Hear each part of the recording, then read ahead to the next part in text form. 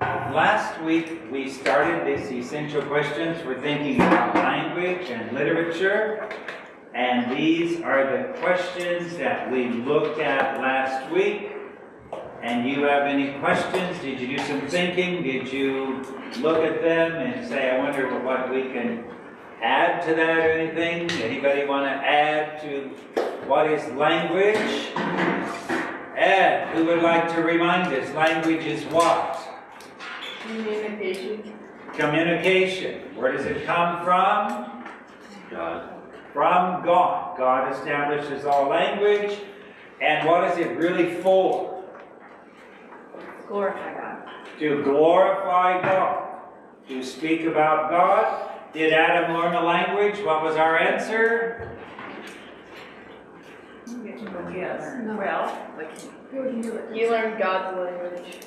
Did he have to learn it? No, you spoke. Could he speak right off the bat? Exactly. He spoke a language, and what language did he speak, do we think? English. Probably Hebrew. That's what we believe it is. It's the language of God. It's just amazing. And what did he use his language for? Naming the animals. That's the first thing. Or is it? Talking to God. Probably talking to God, yeah. Yeah, he had to talk to God. And when God's speaking to him, whether you are speaking or whether you're listening, you're, you're using language. And so he knew all the vocabulary, he knew all the syntax, he knew word order, all of those things. And uh, he used it to fellowship with God. And then God gives him Eve, and then they fellowship together. For how many years does he use language? Adam. How old was he? 930. 930. You are right. And how many languages are there? What did we say?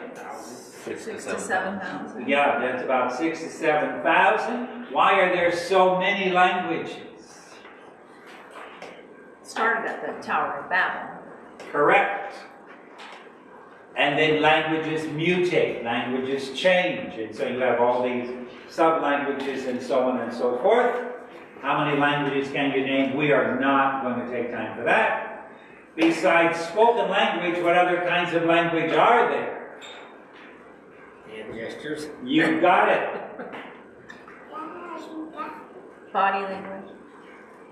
Body language. I can tell if you guys are bored or not. Let's start doing this. Okay, that, those are the languages we have. The, the sign language is wonderful. Uh, there's smoke language, isn't there? Yeah. Yes. Yeah. And there's printed language. Yeah. Do languages change? And we said, Yes. give me an instance of a word that has changed its meaning. Gay. Yeah. There you go. happy. Yeah, ask my mom. It's her middle name. Oh, How about any other? Yep. We talked about mouse, remember? Yeah. What a mouse used to be and what a mouse is today. The way we talk is very, very interesting. We also have new words that didn't used to exist, and words that go out of use. too. So what are some new words we have today? Um, I think of dinosaur wasn't invented until the 1800s. That's right. And The word dinosaur is not in the Bible because there was no such, such vocabulary. And it was, it came into being. All the new technology that we have is, you know, you talk about GPS, that's really a word, I think, today, is understood. And so languages are constantly changing. I don't know this for a fact, but I understand the, the people from Holland that come to Pella and they listen to Pella people speak Dutch years ago. They said, You're speaking that old Dutch. We don't speak the, you know, you don't have the modern Dutch language. And so if you read the old King James, uh, languages continue to change and they are sort of living languages, we think. here is where we start tonight. How does God's curse affect language? I think we got some swear words that weren't around before the, before the fall. Nikki, I really appreciate that. Not speaking from experience. My kids probably beg to differ, but. Don't ask her how many she Believe knows. that, I got some motion control. Thank you.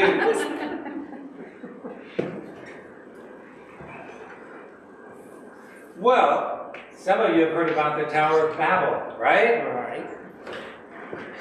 How is that a curse? You can't speak with your brother no more. He's speaking a different language. Exactly. We cannot communicate easily. And so, God's curse on languages today, it's so difficult to understand each other. Uh, also, does language affect culture or does culture affect language? Or is it both? It, it works both ways. And so, those kinds of things, I see that God's curse on language is basically there are many different languages today, and we cannot communicate easily without studying. So, how many of you speak more than one language?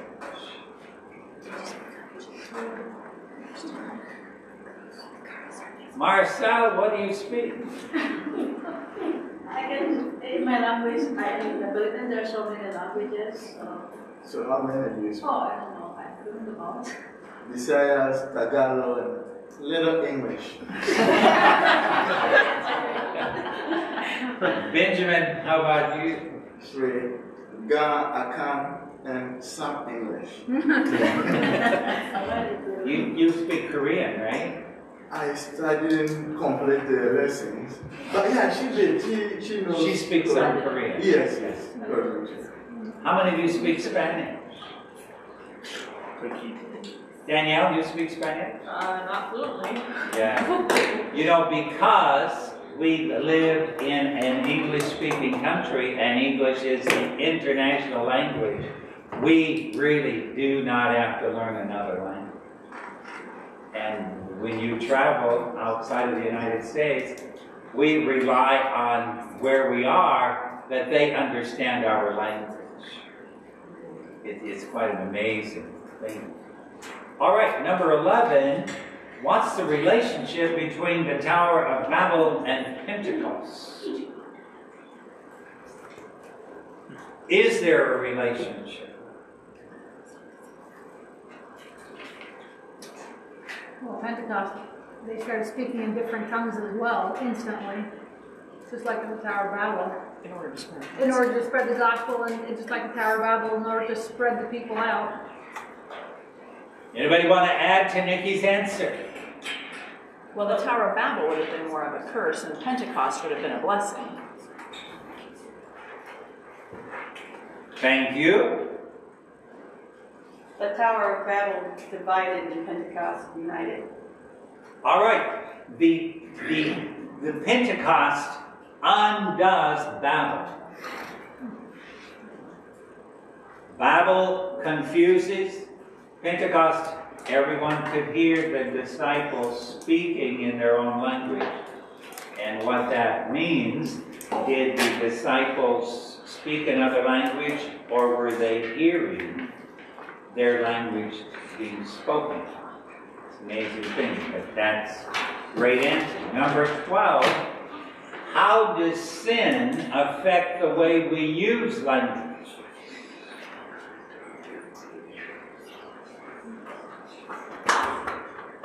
Ask Nikki.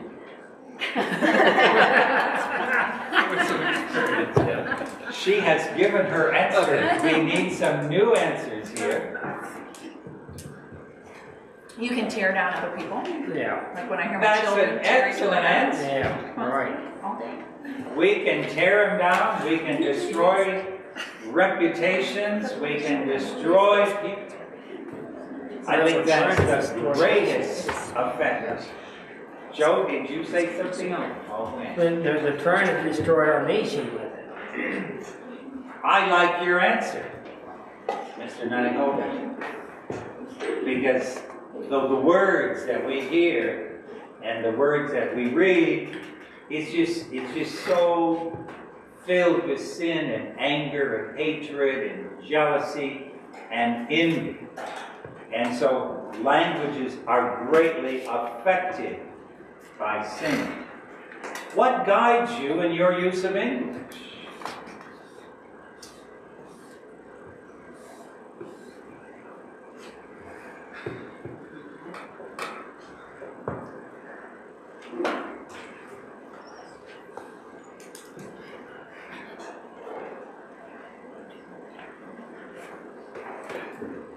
So you speak unguided.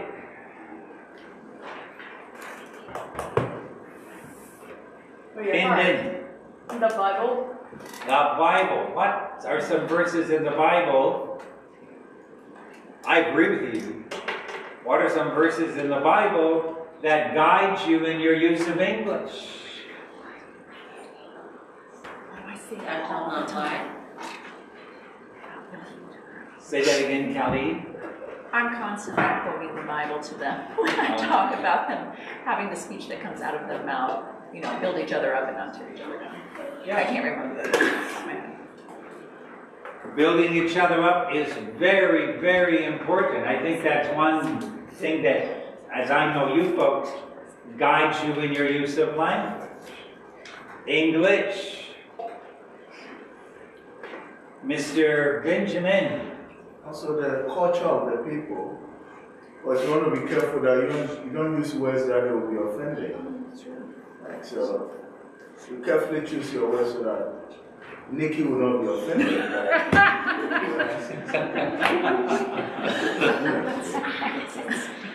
It's very true. You- You have to know the culture before you uh, begin to speak too freely. Ms. Uh, Your heart, Girl, your heart guides. for good or bad. Thank you. Basing on our heart, I usually go bad, but I, I like your, your insight.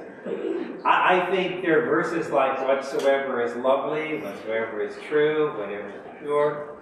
Didn't you learn something once upon a time in school? Before you speak, there are three things that has to meet. Is it true? Is it kind? And is it necessary? All right? Those three things. Those are very excellent things to keep in mind. And, uh, but language is such a blessing, and as you're saying, it's got to encourage, strengthen, inspire, build us up. Number 14.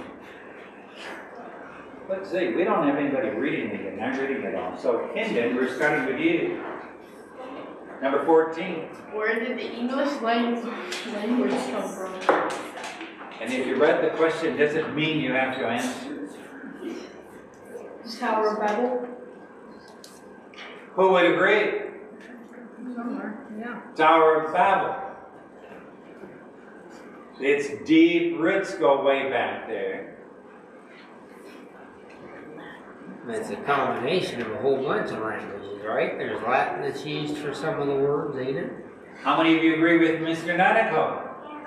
English is a Latin language. Which other languages are Latin? French? And, Spanish, and, Italian, yes. The romantic languages. English language is made up of all of these languages put together. See? And so, where does English come from? I, I think, Mr. Nanikoven, you have said it very, very well. It is a combination of many, many languages. And that's why English has so many vocabulary words, because we have taken words from different languages mm-hmm. and we've incorporated them into our language and we use them. And so the, the, the challenge is when you're writing, when you're speaking, you don't try to use the same words all the time. You try to show I have all of this knowledge of English that I can say it this way or this way or this way. And so English comes from a variety of Latin languages. That's where it comes from. But then there's a deeper answer.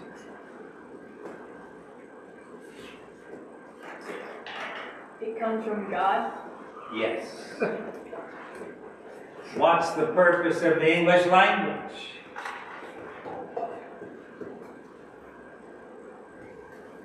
This is not meant to be difficult.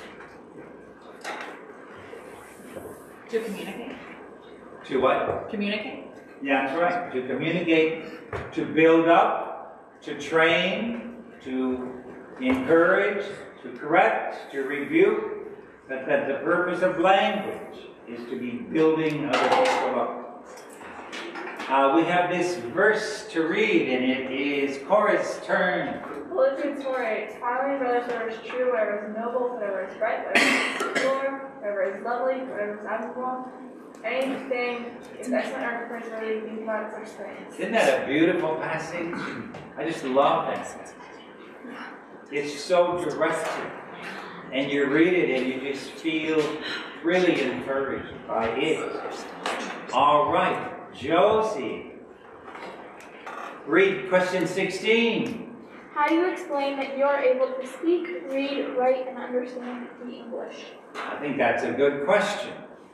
Grew up with it. Say that again. Grew up with it. All right. How is it you're able to speak?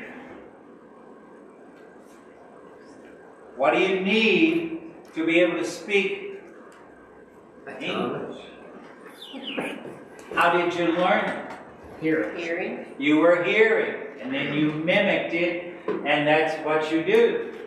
And so you have ears to hear, you've got a tongue, you've been able to force uh, air through your vocal cords, and so you're able to speak. How are you able to read it?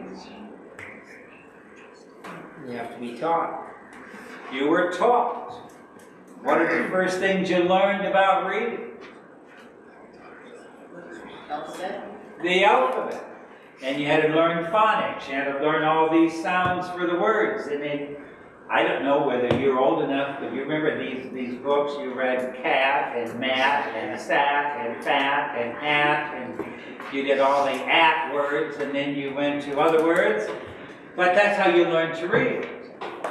But you have eyes to see. You have been given understanding. How did you learn to write? You were taught. What's the first thing you were taught in writing? How to hold a pencil properly. Exactly. and then there you sat, you know, you were doing the alphabet, right? You had to make this whole row of A's, and then you had to circle the best A that you made. Isn't that how it went? But boy, that's a lot of work. Uh, when you learn another language, like Korean has different characters, you know, practicing those characters is really important because it really teaches you. But that's how you learn to write. You copy and you keep doing it. How is it that you can understand English?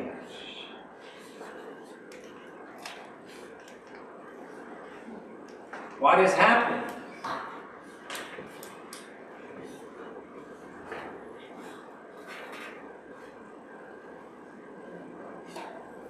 John, God gave you a mind to interpret and understand. I'd like your answer. God gave you a mind to understand. And so, if you understand English, you know the vocabulary, you know the syntax, you know the word order, all of these things having to do with English. God has given you all of the physical things and the mental things that you are able to speak. I think we speak very quickly, and that's wonderful, but I don't think we always think about what a gift I have that I'm able to speak. I'm able to read and write and understand. Number 17, John. Why learn a foreign language such as Spanish or Chinese?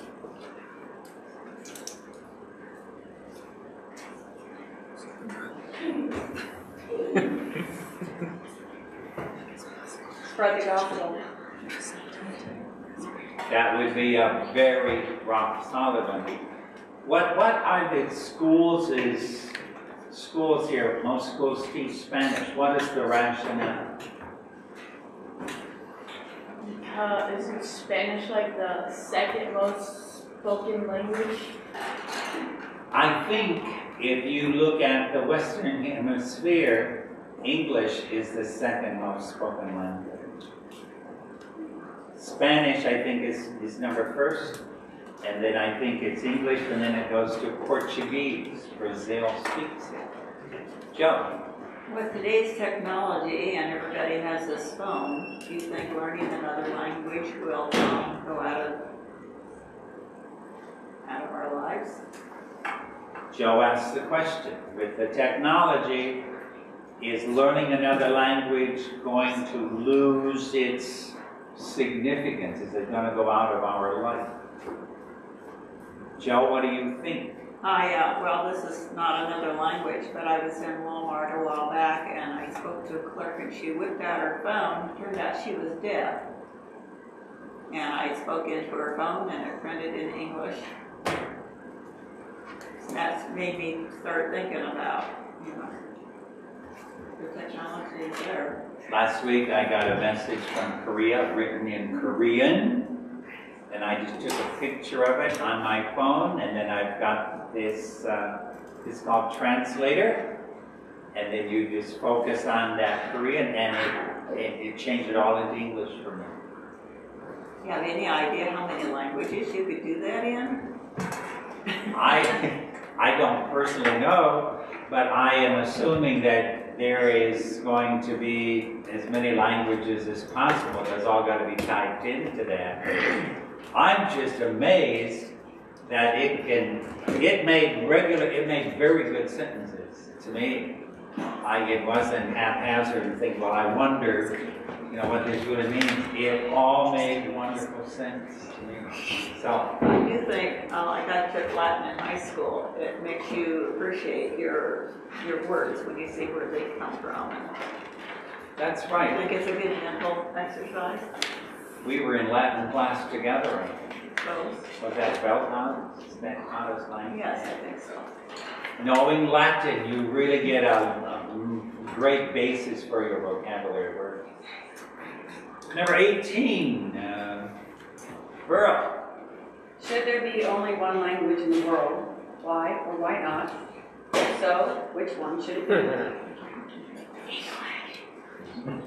So are you ready to vote? Should there be only one language in the world? Raise your hand if that's correct. God didn't want one language, so why should we? Say that once. Well, well, after Babel, God said you're not going to have one language, so. So you're so voting what, against what, what, yeah, why would we want to go against You God? make a tremendous, tremendous insight because according to God's will, the answer is no. And you may read this for us. Joe, is it your turn? Yes, the Lord said, if as one people speaking the same language, they have begun to do this, then nothing they plan to do will be impossible for them. Now let's go down and confuse their language so they will not understand each other. All right. And so Nanakovan, you have a very biblical answer. It would make my life a lot easier if everybody spoke the same language. But because of man's wickedness, Mhm. God separates the people. Are there going to be languages in the new heaven and the new earth? We're all going to speak the same language. Thank you.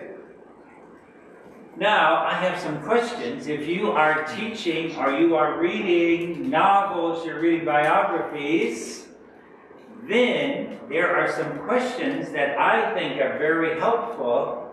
I think I have biography spelled wrong, isn't that right? It's a new, it's a new word, biography. Read number 19, Danielle. Would it be wise for you to have this character for a friend? Why or why not? What do you admire about this character? What are his or her strengths? See, with, with literature, you and I can vicariously be in situations by which we can stand back and we can prepare children and even ourselves for situations that we might run into. Reading gives you that tremendous ability. Is this character somebody that's going to be wise for you to make a friend out of this character? Why or why not? We are always measuring that with one another as we work together. We're always looking at each other. We admire certain things and we look at strengths and say, I need this person in my life. This person really helps me a lot. Well, you can do that through literature. Deb. What concerns do you have about this character? What do you see in his, her behavior that could be a negative influence on you? Why? So when you're working with, with students, I don't teach literature anymore, but you can really discern what's in the heart of your students when they are looking at characters and if they can see there are things in this character that are, are not really right, not really what I want to see in my life, it's a very helpful thing. Number 21, Richard. How could you be a blessing to this character? Why do you think so? What would you want to do with him or if he, she came to visit you? Why? Yeah. What music would they want to listen to? What games would they like to play? What kind of food do you think they would like to eat? Those kinds of things. How are you going to be a blessing to this character? I think that's how you and I live our lives as well. How can I be a blessing to this individual, this family? What's going on in these people's lives? Number 22, medical.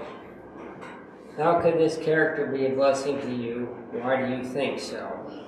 How could he or she be a good influence on you? How could he or she be helpful? Thank you. Those are just excellent questions where you're going to be able to look into the heart of your own children, your own heart, the heart of other people. We continue to read number 23. Dane. Would your parents be happy that you have this character for your friend? Why or why not? What would your parents like about him or her? What would your parents not like about him or her? I think those are really excellent questions as you are studying a novel, studying a biography. Number 24, Nikki. Could you be true to yourself while spending time with this character? Why why not? What changes would you need to make in your character for this character to, to like you? Isn't that powerful questioning? Because sometimes we want to be friends of somebody, but we can't be our natural self if we're going to be friends to them. And so this question deals with that kind of thing. And if you've got uh, children, young people, they can wrestle with this vicariously. Ethan, I don't want to skip you. Uh, what advice would you give this character in a particular episode? Here again, you're delving into the heart of the, the students you're teaching. And so there's a certain situation they're in in this story. What advice would you give them? Number 26, uh, this is a biography of, well, these two men. They were the first two men to reach the summit of Mount Everest. Nikki? No, you read it. It is Kelly's turn. Why were Edmund Hillary and Tenzing Norgay the first to reach the top of Mount Everest? How would you answer that question? Because God let God had them be. Because God um, let them. Um, I put this? I love your answer. That's exactly it. So many people had tried before, and these two were the first ones because God allowed that to happen. Tim, Helen Keller and Anne Sullivan. that's the name of the book. Why are there blind and deaf people in the world? Does God make people blind and deaf? Explain. Who would like to answer that? Why are there deaf Why are there blind people? Helen Keller was blind. She was also deaf. I believe she learned three languages. I think so. I think these are a result of the fall, the fall. It is the result of the fall. And God places these people in our life. Why? To glorify himself. Thank you. Are we bearing fruit? Are we ministering to them? Are we able to show love and kindness to them? Well, the last question Does God make people blind and deaf? Yes. Yes, He does. And blonde and blue eyed. Number 25. What advice would you give this character in a particular episode? Oh, am I repeating me? Sorry about that. You read very well, and we'll give you another one. Okay. The book says Lewis and Clark are lucky to meet says the Sacagawea. How do you explain the fact that they met Sacagawea? So this is out of a secular book. I'm teaching sixth graders. And here they just said, well, Lewis and Clark were lucky to meet Sacagawea. God had it in the plans Thank to you. save them. When you're reading, make sure whatever they are reading is expressing a biblical view. And you'll, you'll see these things come up.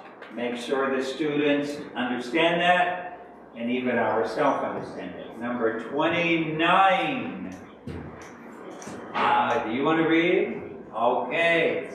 Josiah. Is it good for people to work together? Why or why not? because this the, this whole series was on people working together, Lewis and Clark and Saki Sacagawea. And so, is it good for people to work together? Who would say yes? We're made to work together. We work together. We build each other up. Number thirty, Marcel. Describe a person who would be good for you to do schoolwork with. Yeah, now these were kids, these were Korean kids, and Korean schools are built so that students work together. Well, there's sin in every life of every nationality, in every Korean as well as every American. So I wanted the students describe a person who'd be good, you know, would be good to do school work with. Are they going to build you up? Are they going to say, you do this and I'll do that? And what kind of a thing do you have? And so that really finishes up this section, which I want to end with a couple of verses, and this will be Benjamin. Psalm 91, verse, Psalm 19, verse 19. Said, May the words of my mouth and the meditation of my heart be pleasing in your sight, O Lord, my rock and my redeemer. That is our prayer. That's all with literature. And this one, Jetty. According to the grace given us, it is a man's gift, is pro- Prophesying. prophesy. Let him use it in proportion to his faith. Proportion to his faith. If it is serving, let him serve. If it is teaching, let him teach. And you have to keep going. If it is encouraging, let him encourage. If it is contributing, contributing to the needs of others, let him give generously. If it is leadership, let him govern diligently. If it is showing mercy, let him do it cheerfully. That is all guiding our thinking, our speaking, our working together. And Colin, Ecclesiastes 12. You're going to have two slides to read also. Of making many books there is no one, and much study where there is Wearies, makes wearies you tired. body. Now all has been heard. Herein is the conclusion of the matter. Fear God and keep his commandments, for this is the whole duty of men. For God will bring every deed into judgment, including every hidden thing, whether it is good or evil. Oh, wait a minute, Mr. B did not, it should stop with evil, that's a mistake, all right? Thank you, you did a very fine job, Collins. Thank you so much. All right, we're going to now look at the Christ figure. When we're talking about a Christ figure in literature, we're looking for characters who resemble Christ one way or another. Now, you're not going to find a perfect resemblance of Christ, because if you do, it'd have to be Christ himself. But we're going to begin reading here with Kendi. In the beginning with Moses and all the prophets, he explained to them what was said in all scriptures concerning himself. That's right, there are Christ figures all through the Old Testament. Thank you very much. And so when you determine the Christ figure, what's the first thing you have to do, Cora? Read the entire story before deciding on the Christ figure. All right, don't get to the end of the first paragraph and say, we have one. You need the whole story. Josie. Christ figures don't need to resemble Christ in every way. If they did, they wouldn't be a Christ figure, but Christ himself. Understand that. Number three. Christ figures are not as pure and holy as Jesus Christ. Keep that in mind as well. Number four, uh, okay. Uh, read this for us, Verla. In looking for Christ figures, consider the following. And what is the first one? The parents, Thank you. the events surrounding his birth, their childhood, their outward appearance, Okay. Now, when you look at their outward appearance, these are just some interesting pictures that I got off of the internet.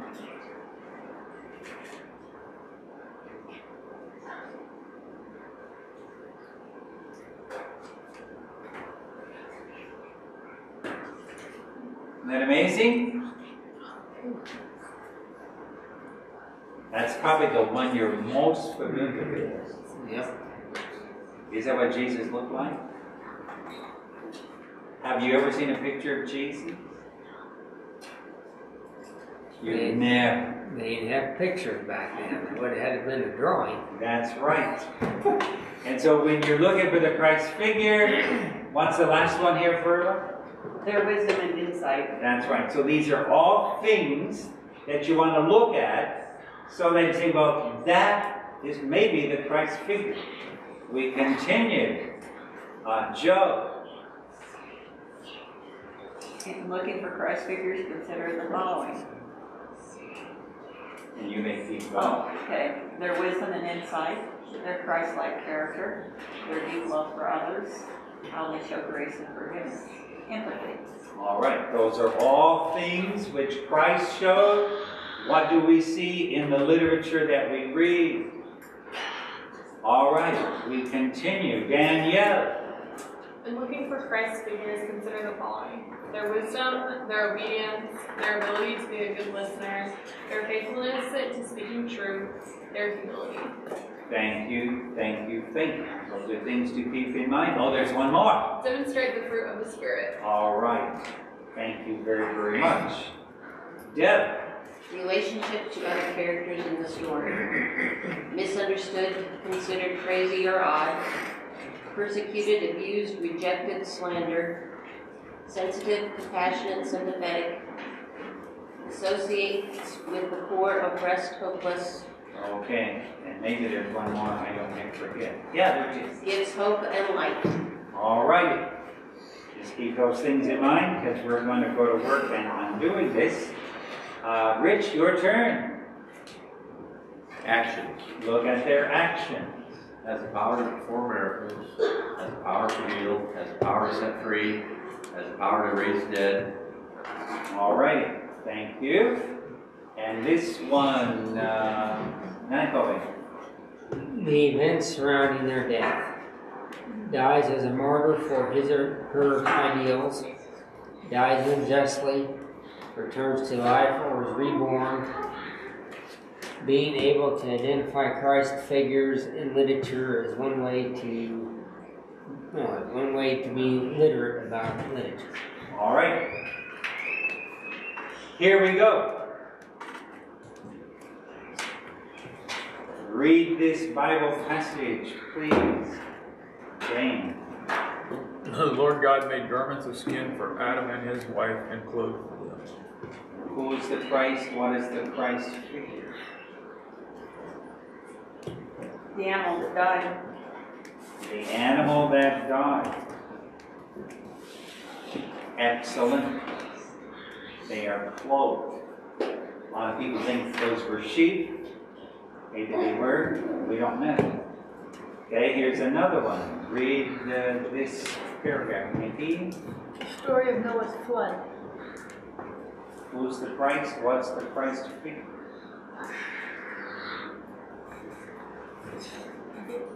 The ark. The ark. Why do you think so? This is what saved them from God's wrath. You get the nail on the head. The ark is a Christ figure. Alrighty, we're going to read this one. Uh, Ethan. Story of Abraham offering Isaac. The ram. The ram. Yeah, same thing. You agree with him? Anybody want to add? It's the ram. Very good.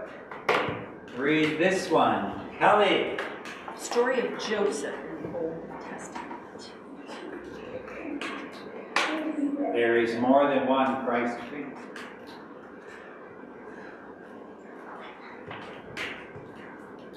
Judah.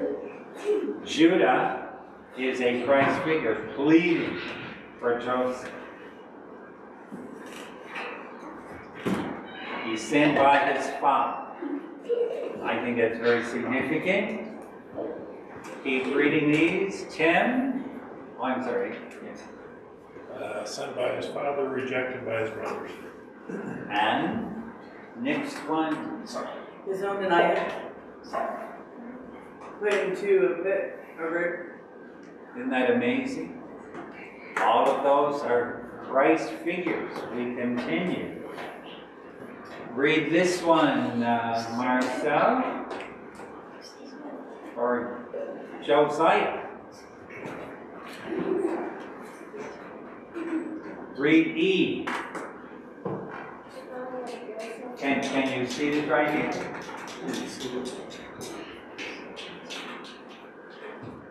Sold by his own.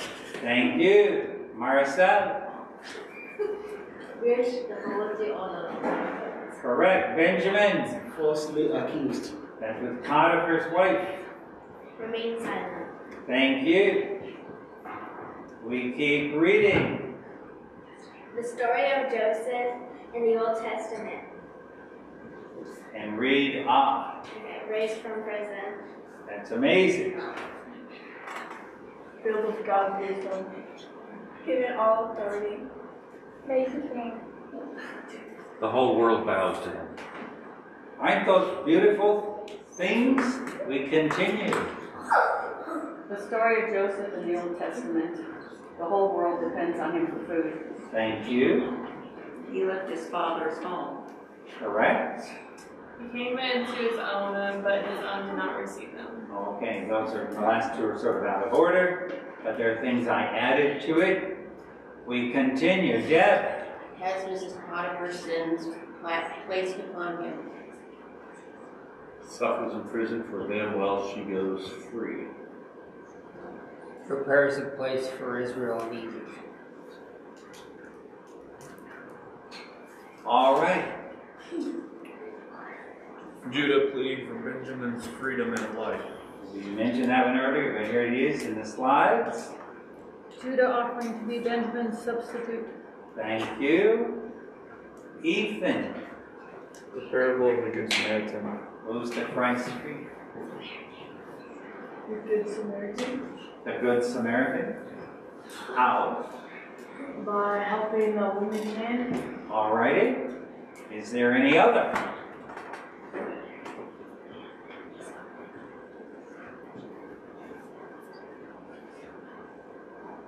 How could the victim be a Christ figure?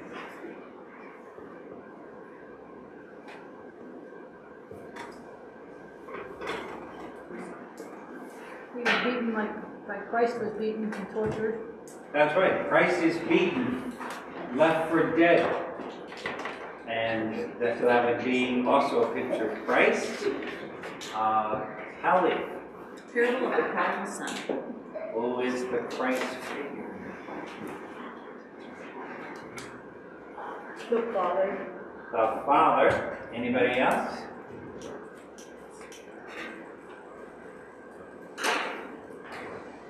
Maybe the sun. The robe. How is the robe a symbol of Christ? Because it covers our sins. That's right. We're covered in the righteousness. The fattened calf. And could you make an argument that the prodigal son is a Christ figure? He takes on the sins and he really is basically dead. He comes back and the Father restores him. Alrighty. How many of you are familiar with Narnia Tales? And so, the lion, the witch, and the wardrobe, who is the Christ figure? Aslan the lion.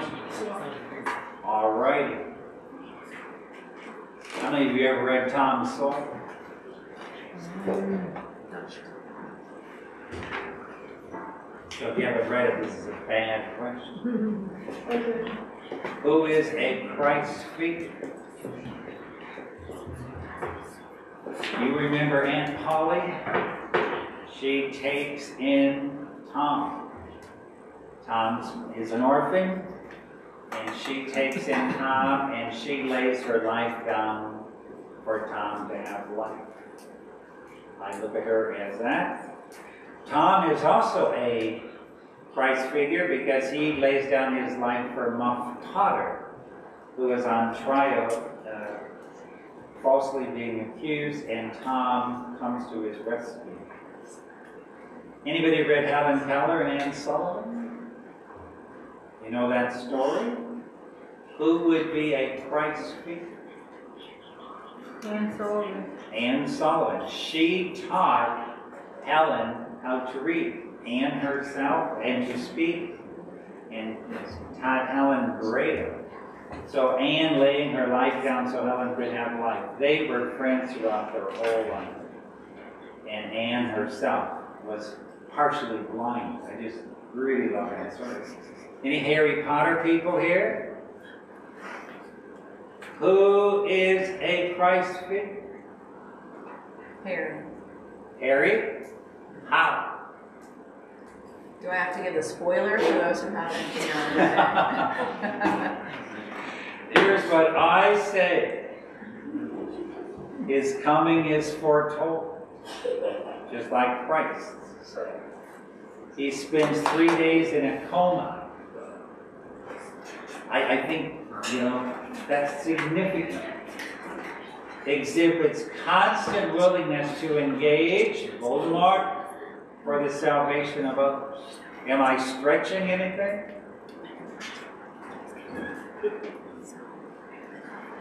Thank you. Here's another one. Christ died for us while we were sinners. And so we call that agape love. It's the deepest love you can have, agape. It's a love full of compassion, full of giving yourself to somebody else. Harry seems only willing and able to sacrifice for his friends, so we call that phileo, brotherly love. That's, that's what I have written. Anybody want to say more than that?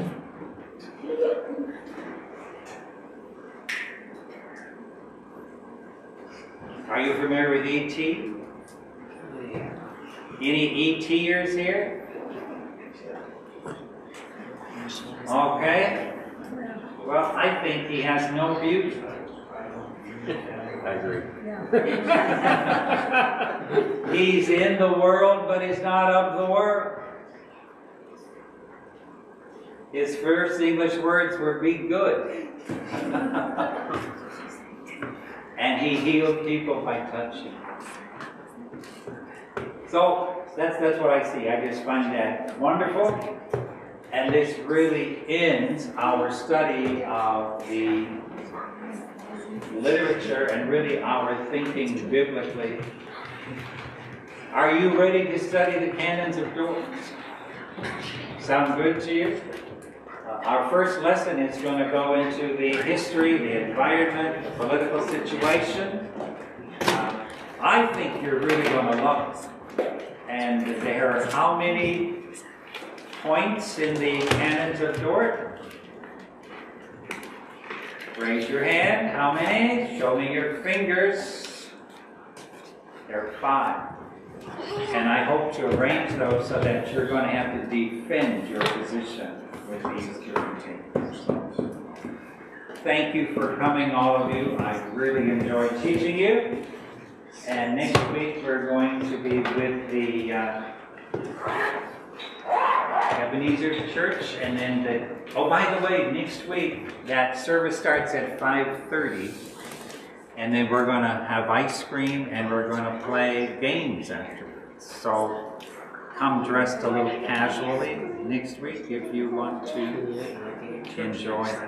Are you going to come and video that too, John? No, we'll be in Texas. You're going to be in Texas, so perfect lining up. Thank you, thank you. Let us close in prayer. Our Father, thank you for this time together. Thank you that we can look into literature and see how all literature has a Christ figure because you made us in your image and what we write and how we think is always framed by that reality. May you bless us in this week. May we be your blessing. Thank you for this wonderful dinner tonight and for those families who have made it for us. May you bless them as well. In Jesus' name, amen.